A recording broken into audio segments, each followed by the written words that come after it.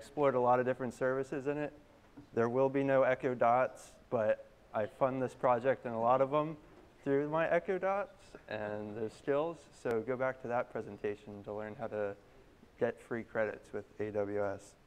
And we're just going to go right into the demo. Never been done before.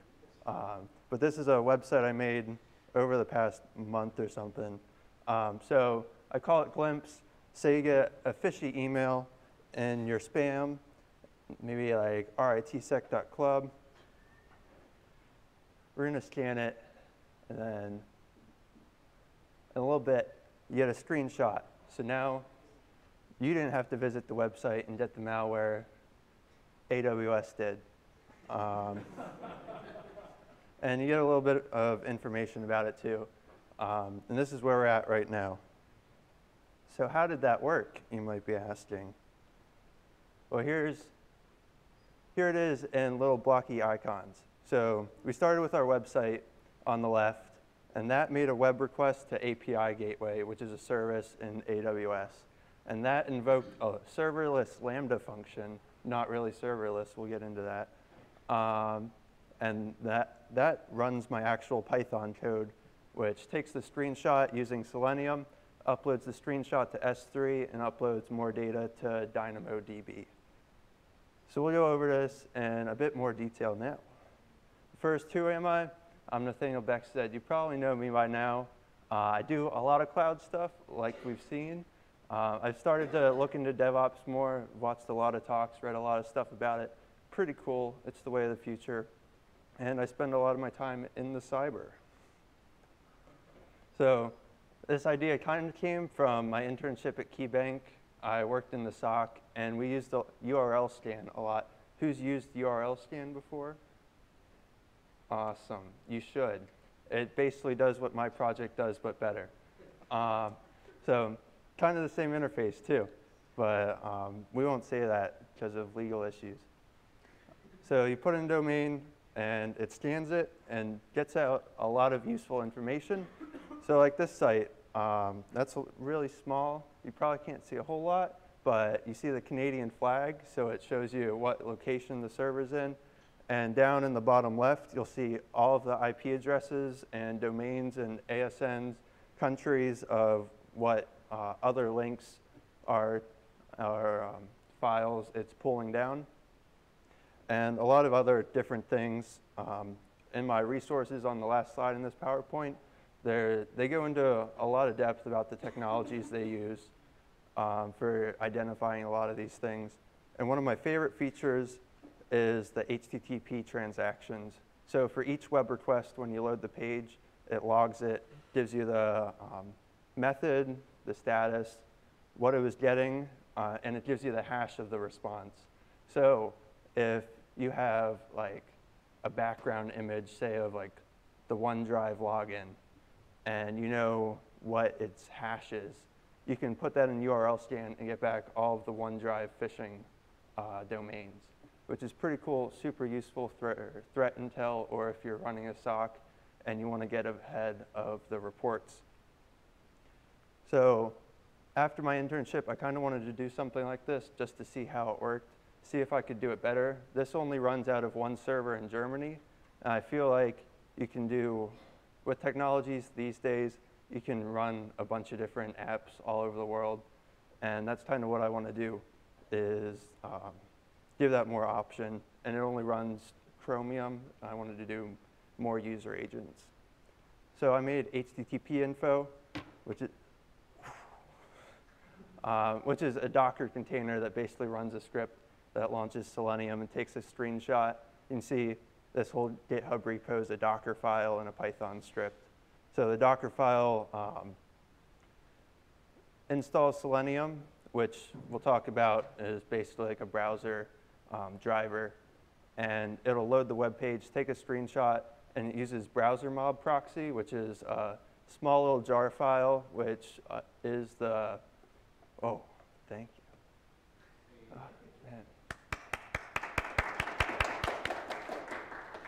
which will record the uh, HTTP transactions.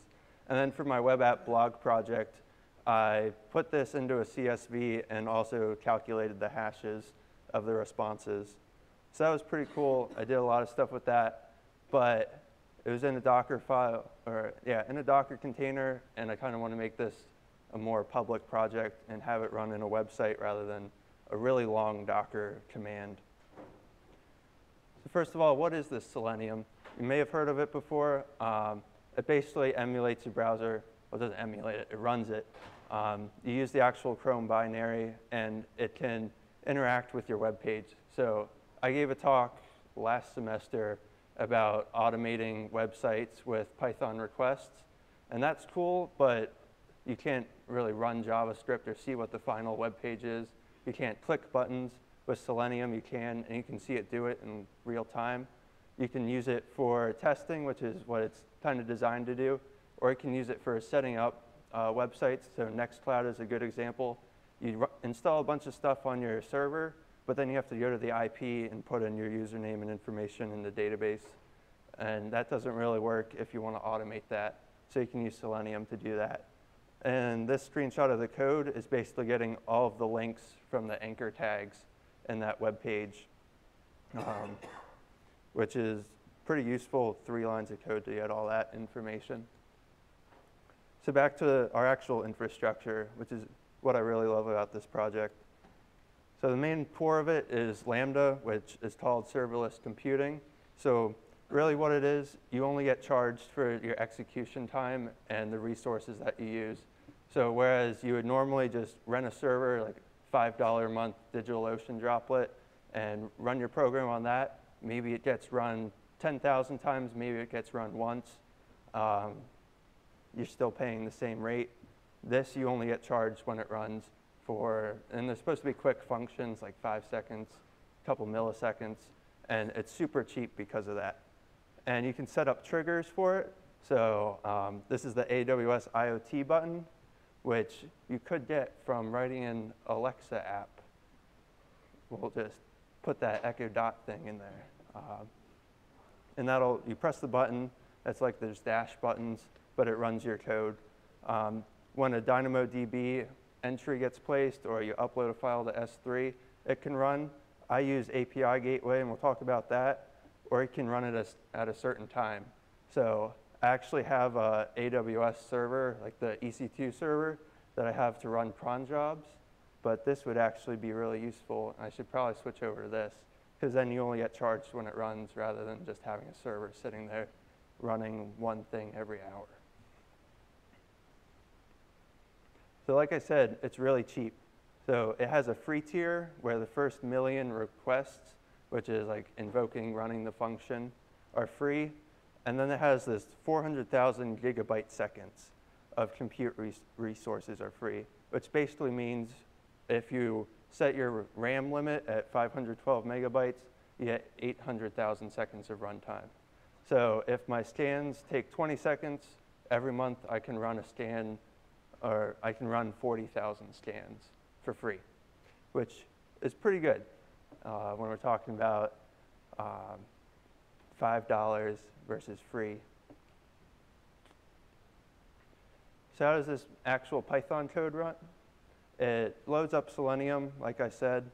Um, basically, you just install the Selenium Python module and you uh, run the Chrome driver for it and it loads up Selenium or Chrome and runs it through that. You just do like a dot get URL and it loads it.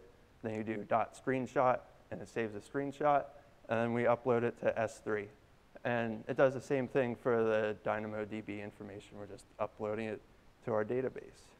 And this uh, 21 buttons PyChromeless is really good if you want to do kind of this stuff with, in Lambda. So it gives you kind of a, a base of code and dependencies that you just fork it.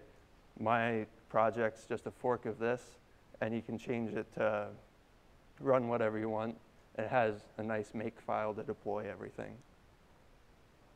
This is what the actual web interface looks like. So this function is called glimpse scan, and you can see that the trigger is API gateway and has permission to do all these different things. It's a really visual editor um, rather than like changing lines in a configuration or something, which is what I really love.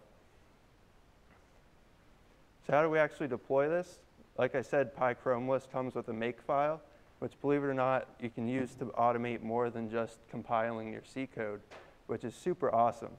So this target of pack builds your uh, build.zip file basically to upload to Lambda. It gets all your dependencies, um, installs all your pip requirements, and puts it into a zip file so that Lambda can just extract it and run it really fast. And then deploying it, I use the AWS CLI to upload it to S3 and then update the Lambda function code. And so this is all automated. I make a change, run make deploy, and it updates it in Lambda. DevOps. All right, so the second part of this is storage. I'm going to talk about S3 and DynamoDB kind of together because they're pretty much doing the same thing. You're just uploading information. S3, they call it key value storage. It's basically an FTP server. I don't want to think about it too hard. Um, you're uploading a file, and then you can download that file. Um, I use it to host the images because I don't really want to deal with um, getting that information. You just get a link, and it's a publicly accessible link. Speaking of which, I understand now why so many S3 buckets are accidentally public. The, the permissions on them are really hard. Uh, there's a lot of complicated words and permissions that it sounds right, but it's probably doing something totally different. Um, so yeah, I've messed up permissions a lot just trying to make it public. And then we use the Boto library through Python, which is their, um, their library for all of AWS ba basically. Um, so this line just makes a connection to S3, establishes that key is the file name, basically the path that you want to upload to, and we upload it from a file, and that's all. We're not um, making API requests to AWS at all. It's all through the Boto library.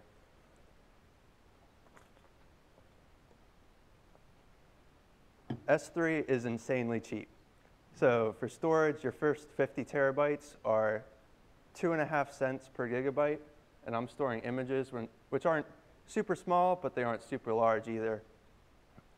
And then you're also, you're also storage for downloading and uploading. So that's like 0.2 cents per gigabyte that you upload and 0.5 cents per 1,000 gets, basic, or puts, sorry, um, for uploading. And then getting down, getting information's even cheaper. That's like, what, seven, ten thousandths of a dollar for, per gigabyte of downloading, and what, four ten thousandths for 1,000 requests.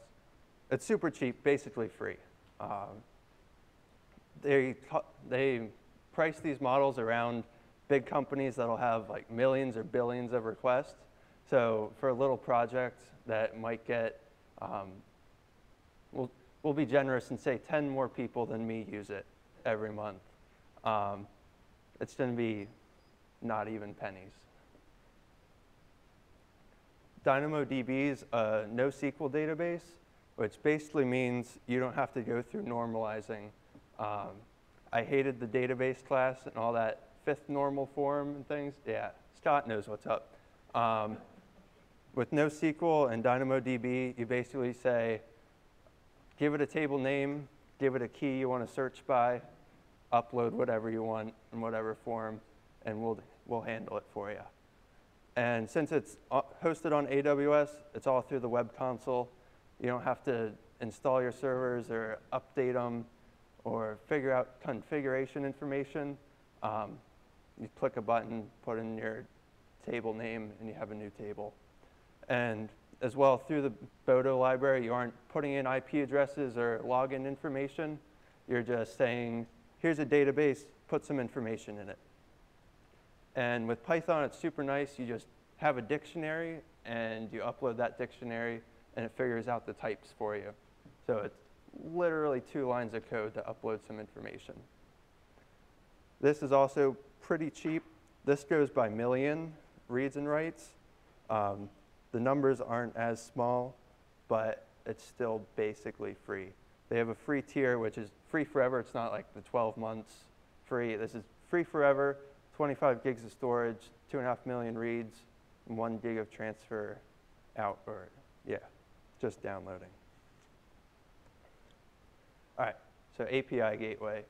I love this because I've written all of my APIs in Flask so far, and it's cool, you can do a lot, but it gets complicated, and it gets really messy.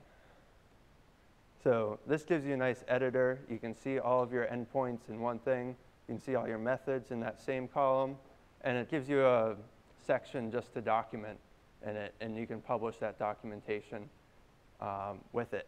So it's all in one place, super easy, super nice.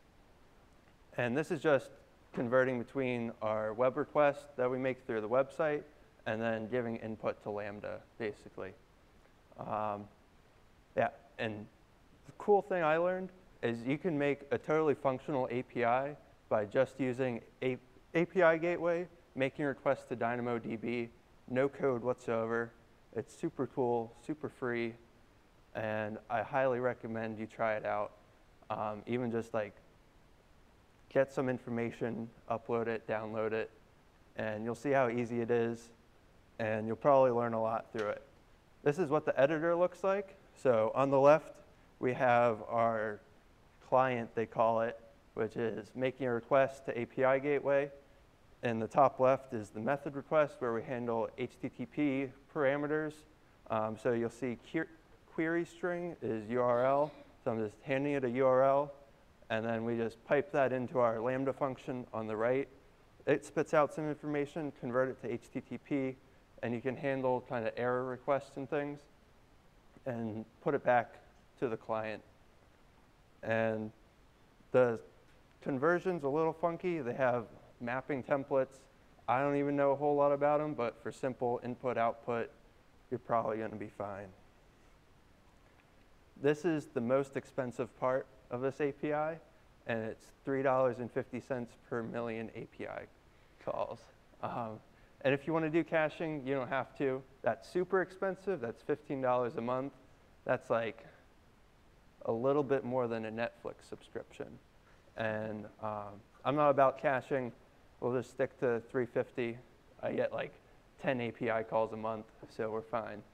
Um, yeah, that's super expensive.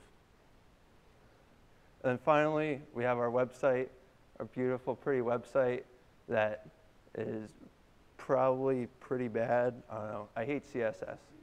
Um, but I use GitHub Pages for this. This is the only not AWS thing, um, just because I didn't want to deal with S3. Um, more website stuff, you can like make a static site with S3, but I like GitHub Pages, and it goes to my URL automatically. So that's cool.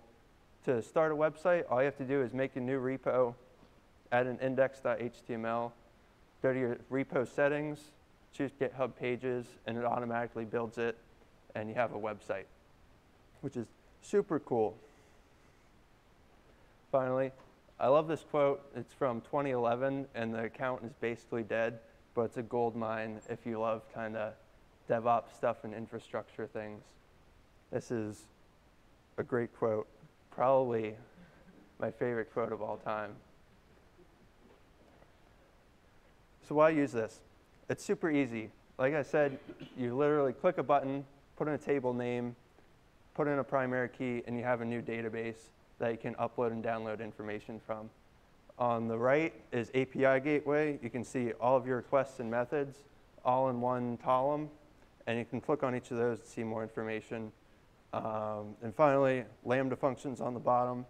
You just put in a name, put in I want to run Python code, and upload your Python code, or if you don't need any dependencies besides normal Python and it's below like 500 lines of code, you can edit it in AWS console. It has built, logging built into it. So without any setup or anything, you get logs and dashboards. So on the right is Lambda stuff about how much it, how long it runs and if it errors out or not. On the left is database stuff about their latency.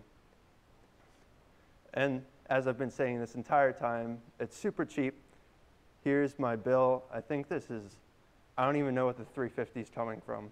Probably some other project. Um, and then on the right, it shows you all your free tier usage. And so the most, uh, the largest percent of free tier I have is 0.42%. And this is the entire month of March as of two days ago, I think. All of these projects have been like 0.13% for Lambda, 0.01% for CloudWatch logs, and everything below that is uh, less than, can't even compute it, 0%. Uh, and I, I've been using this a lot. Like I've been testing and running a lot of queries, and it's still at basically 0%. So it's free. It's basically free. Newman. Um, do you have any zones in Route 53? I don't, no. Yeah, But that might yeah. I don't know. Yeah. Yeah. Yeah. Like I've said before, I get $100 a month, so I don't even look at my billing most times until it reaches like $80 a month. Um, so yeah, all of my projects and stuff, I just spin up a new EC2 box, easy, done. Um, it's good to be rich. so some new, new um, things I've been working on, continuous integration. So I've been, all this week, I've been working on getting Travis to work. Um, I've actually been not committing to the master branch this week, which is pretty great. I actually have a build branch. Thank you, thank you. Um, yeah, that's been a pain, um, trying to get that to work. Um, but it's been fun. Uh, so I have this whole pipeline now, basically working where I make a commit, push it to GitHub, it, it tests it in a Docker container. So there's a Lambda Docker container which emulates the environment. And so you can test that locally without being charged. And then that does works through Travis. Then it uploads it to my test Lambda function, tests all the AWS infrastructure. And if that works, pushes it to production, which is pretty cool. I also love the network activity stuff on URL scans. So that's what I've been working on a lot. Cool little tip I learned. If you open up your browser console and do window.performance.getEntries as a function, you get all of the URLs that have been called by loading that page. So you don't have to set up any proxies or anything. You can just see the URLs right there just through JavaScript. The browser um, saves that for performance statistics, I guess. So that's probably how I'll start network logging. Um, and like I said before, I really want to do multiple regions and browsers. So right now, I'm still using Chromium just in the US East uh, area. But it'd be super easy to move this to, I don't know, five locations around the world and have it um, be able to choose which one you want to run. And a whole lot more. I have a huge to-do list. I come up with ideas every hour, it seems. Um, and if this sounds interesting, I'd love to get some help on it. It's quickly becoming a large project. And finals, and I actually have work to do now. Um, should, well, I've had work to do. It's just the due dates are coming up now. Um, so yeah, I'd love to get some help on it if this interests you. Any questions? Sam? Yeah, so, um, does AW, or, yeah, does AWS do anything to document your APIs for you? Like, is there any way to automate documentation on that? So it doesn't do it for you. To be honest, I haven't looked at it too much. I've just seen the button. Um, actually, I'm logged in now. If we go.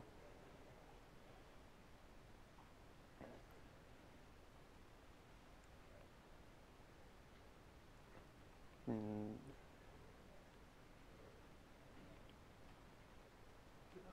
Yeah, I don't know. I'll have to look into that, but I don't think it does it automatically. Um, maybe some stuff like parameters, it can build you like a little paragraph or something. Um, but I think most of that's manual.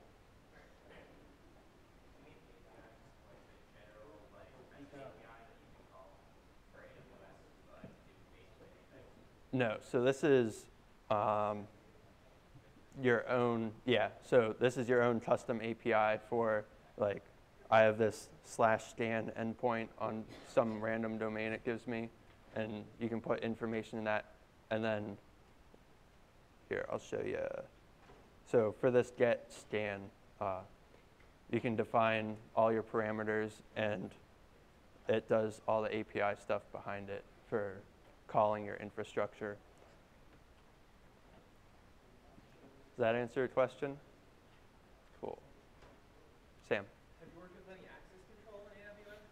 I have, and one of the to-do lists is to go through that again, because I've uh, narrowed some stuff down, but then it wasn't working, so I've kind of increased control over some things.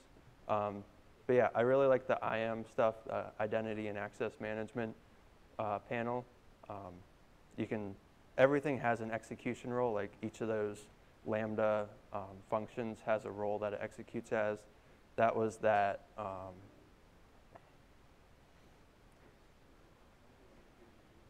this. This shows all of the kind of permissions it has on the right there. So it can push the CloudWatch, uh, get entries through DynamoDB, and push the 8 or S3. Um, Maybe answer before my question. So like maybe like like auth tokens and things along those lines. Yeah. Like I know that Amazon is So these don't use auth tokens per se. They have roles. Um, you don't have to put in your auth tokens anywhere. So it has a, its own user, and that Lambda environment has its t- tokens built into it. I was just Um, talking about, like when someone queries it, like Yeah. to have them authenticate. Oh, no. Yeah, it's all public. Go ahead and brute force or like do like 10,000 stands. And yeah, it's all public. We good? Any questions? Cool. Thank you.